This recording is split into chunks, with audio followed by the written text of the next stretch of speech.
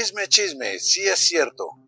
Ya María Paz Gaviria está en empalme con el profe de piano. ¿Se acuerdan a quien le querían entregar el Ministerio de Cultura, la Política Cultural Nacional, eh, para la entrega de ese ministerio al eh, gavirismo, al Partido Liberal, a cambio de aprobar la mala reforma a la salud? Dice ahora el expresidente César Gaviria, la salud de los colombianos bien vale un ministerio. ¡Qué horror! Esto es gravísimo. Con la salud de ustedes, ciudadanos, no se puede andar jugando. Por eso convocamos a todas las asociaciones de usuarios de las EPS del país a iniciar una campaña de activismo digital intensa, fuerte, enviarle al Congreso ese mensaje. Con nuestra salud no pueden jugar a cambio de cuotas burocráticas y de satisfacción de intereses personales, como es claramente el caso de César Gaviria al favorecer a su hija con los destinos de la cultura a cambio de negociar eh, la destrucción de nuestro sistema de salud.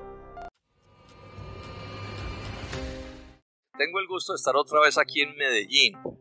Vinimos con Sergio Fajardo y con la representante a la Cámara Jennifer Pedras.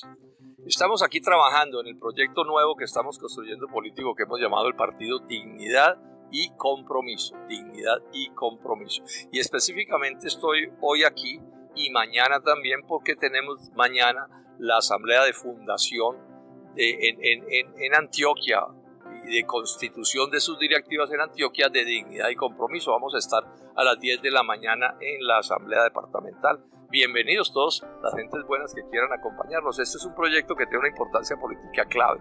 Estamos armando la tercera fuerza política en Colombia. Aquí no nos pueden seguir con el cuento de que hay que escoger entre el uno y el otro y ya sabemos quiénes son. No, aquí hay una posibilidad que es no escoger entre esos dos y crear una tercera fuerza que sea capaz de transformar a Colombia. Entonces, bienvenidos y bienvenidas los gentes de Medellín y de Antioquia a este evento de mañana. La reforma laboral que plantea el gobierno de Gustavo Petro va a salir mal.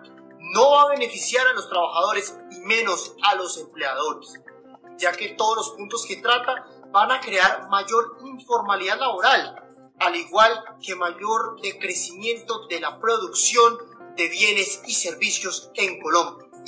Esta reforma no nos conviene porque va a generar desempleo, pobreza y hambre en los colombianos.